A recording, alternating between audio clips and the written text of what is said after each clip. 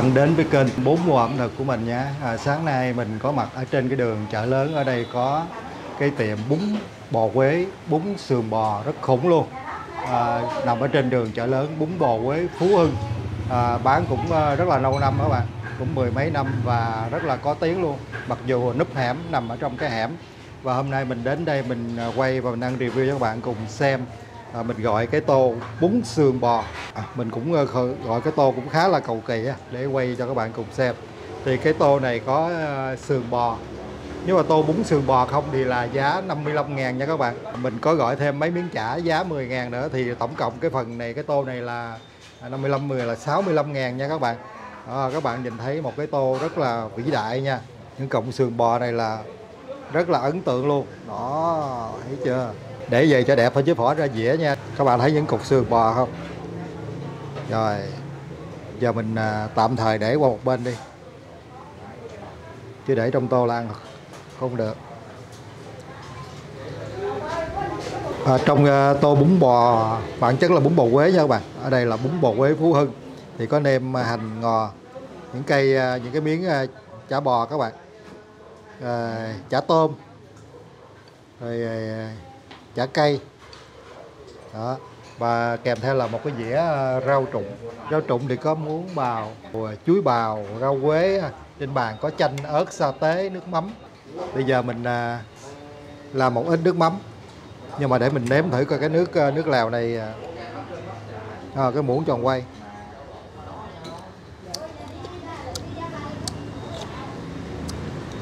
Cái nước rất ngọt luôn rất đậm đà bởi vì ở đây chị bán cái lượng ờ, xương rất là khủng luôn, cho nên cái nước sẽ rất ngọt. Mình ờ, cho một ít xíu nước mắm. Cái này chắc là nước mắm sống rồi. Cái cục xương thì quá bự, nhưng mà cái chén chấm thì quá nhỏ nha các bạn.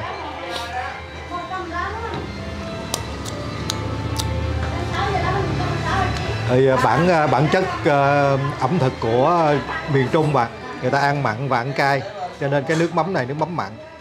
Mình nghĩ không biết có cần à, nêm hay chấm gì không. Mình cho một ít ớt vào. Ở trên bàn có chanh nữa các bạn chanh mọng nước luôn.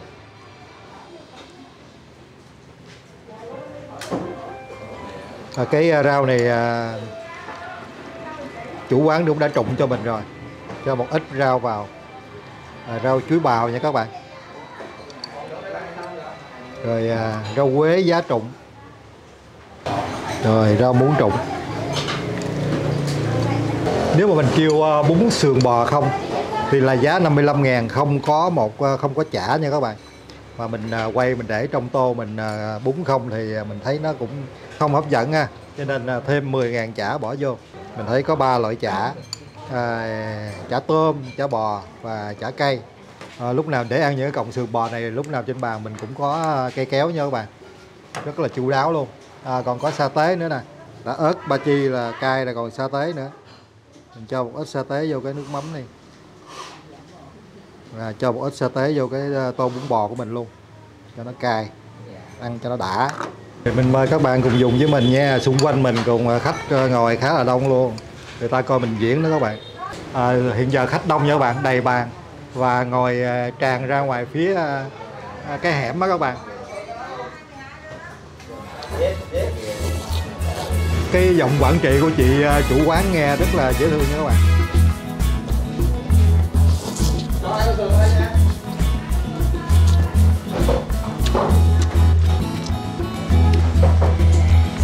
Chị à, chủ quán người Quảng Trị, nhà bán là bún bò Quế. Theo bản đồ địa lý thì nếu mình đi à, từ ra tới Đà Nẵng, rồi qua Hàm Hải thì sẽ tới Quế nha các bạn. Qua khỏi Quế là tới Quảng Trị, qua Quảng Trị mình đi cầu Hiền Lương, sẽ qua Quảng Bình các bạn thì Quảng Trị với Quế nó nằm ở uh, cạnh nhau.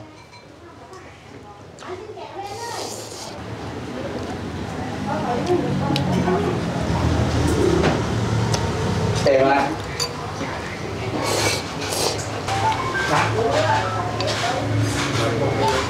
thật ra mình à, kêu để mình ăn review cho các bạn cùng xem chứ thấy cái cục xương này là quá khủng luôn nha các bạn. Cái sức mình không biết mình ăn ăn hết không nữa. Ừ. đây cây chả cây người miền Trung thì ăn rất mặn, dùng miền biển á. Người ta ăn mặn và ăn cay nữa ở đây thấy toàn là sa tế, nước mắm và ớt.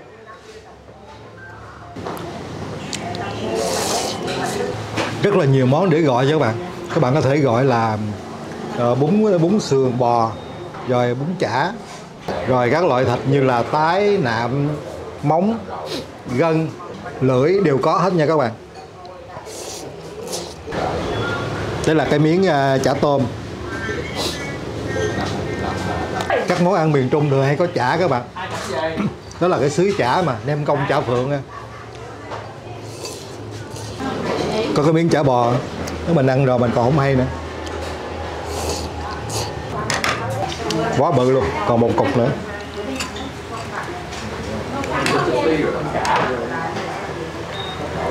À,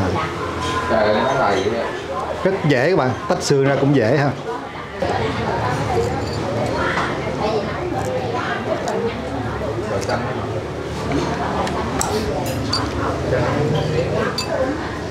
đó.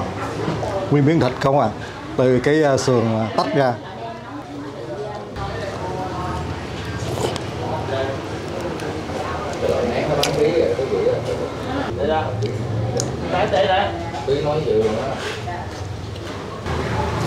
Cái ờ, xương này mình tách cái thịt ra cũng khá là mềm á. Như có mấy chỗ gần gần thì nó còn ăn nó có độ dai dai.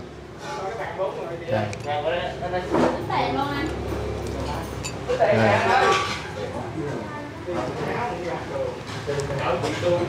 cắt những cái phần xưa thịt ra. Đó cắt ra cũng rất dễ luôn.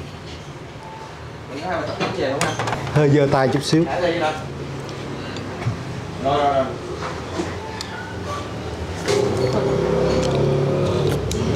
Xương nhưng còn thịt cũng à, còn thịt rất nhiều các bạn rồi để làm đứa con à mang vậy mà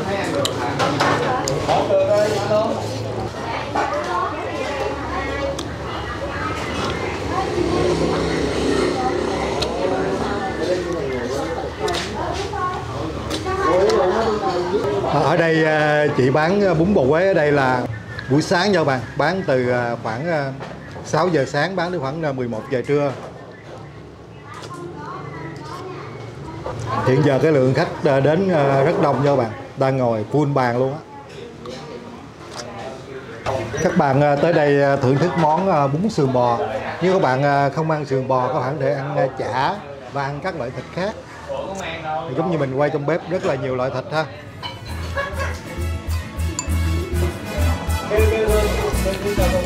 Giờ còn cái cục to này này, để coi nó như thế nào. Đây.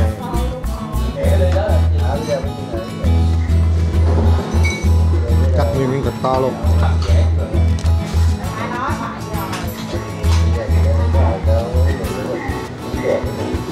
À. rất to rất rất to. Rất dài và rất to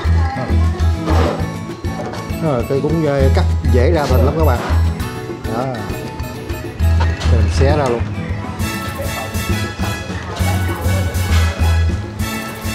Đấy, trời ơi thấy chưa? Bánh thay xẻ thịt nó ra các bạn ơi. Cũng dễ rất dễ cắt có cây kéo dễ cắt lắm. Ồ. Thịt không? Để đây chút mình gặm. Này, nó có gân nha bạn. Gân. Gân và thịt ờ, thịt nạc. À này để chút mình xử sao.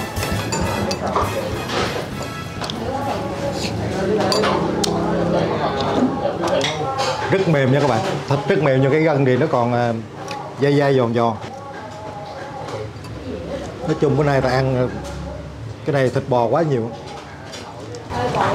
Mình thấy cái ờ, lượng khách tới đây ăn cái ờ, sườn bò rất nhiều bạn. Hầu như ai cũng ăn sườn bò cho nên cái lượng sườn bán rất là khủng luôn. Mình ăn như vậy cũng vừa, cũng ờ, không cần chấm cũng được các bạn. Chấm vô nước mắm thì nước mắm sống nó mặn.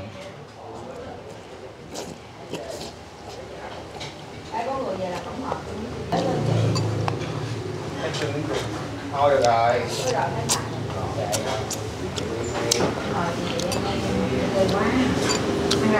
thịt nó mềm gân nó giòn. Cái chỗ này là miếng thịt không các bạn? Nó mềm lắm.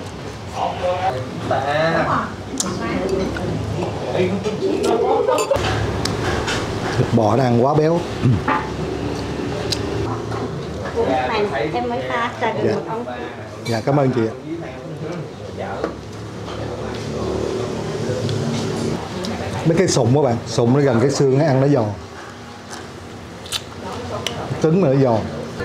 Cái thịt nó cũng mềm bạn tách ra nó ra hết trơn à. Ờ, chị chủ quán mời mình một ờ, ly trà gừng. Trà nóng, rất ngon, thơm.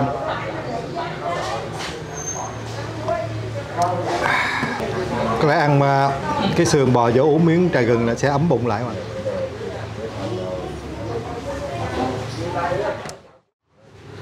Mình à, vừa dùng xong một tô bún xương bò và một à, trong tô cũng có có chả bò chả cây và chả cua các bạn ha. Mình nghĩ ăn cái cục xương này à, những người nào mà có cái sức ăn mạnh mạnh một chút á thì sẽ ăn tốt nha. Chứ người nào ăn ít thì cái cục xương này nó rất lớn ăn rất ngon nhưng mà sợ nó nhiều quá. Những người sức mạnh mạnh thì sẽ ăn rất tốt. Bún bò Quế Phú Hưng mặc dù ở trong hẻm nhưng mà cũng à, khá là nổi tiếng và có một điều đặc biệt là những cái cọng sườn bò rất là to luôn. À, các bạn vừa xem video của mình mình cảm ơn rất nhiều nha. Thì à, mình xin kết thúc video ở đây và mình hẹn các bạn ở video sau nhé. Bye bye.